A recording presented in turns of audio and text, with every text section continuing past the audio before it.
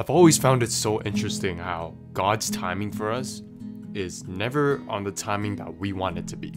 Like throughout my journey, when I feel that I'm ready for my breakthrough and God says, no, I still gotta build something in you.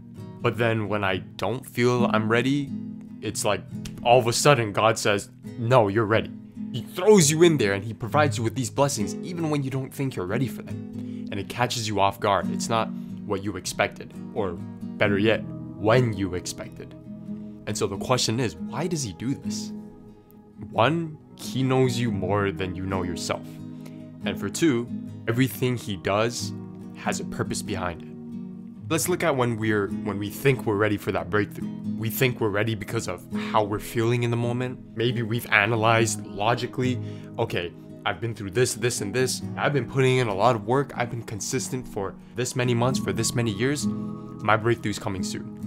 But the thing is, all of this is just surface level, surface level factors to God, how we're feeling. We think we're ready, but with God, He surpasses all of that. God sees deeper than that. He works in the unknown, behind the scenes, where we can't see. He makes things happen supernaturally, ways that we can't even imagine or grasp. And so you're probably sitting here like, okay, okay, where are you getting with all this? All I'm saying is, trust God. If you've been desiring for something and you've been working at it for a long time now, and you just haven't been seeing the results that you want from it, it's for a purpose. God always moves with purpose.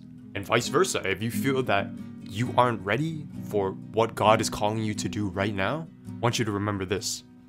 God doesn't care whether or not you feel qualified. He doesn't call the qualified, He qualifies the called.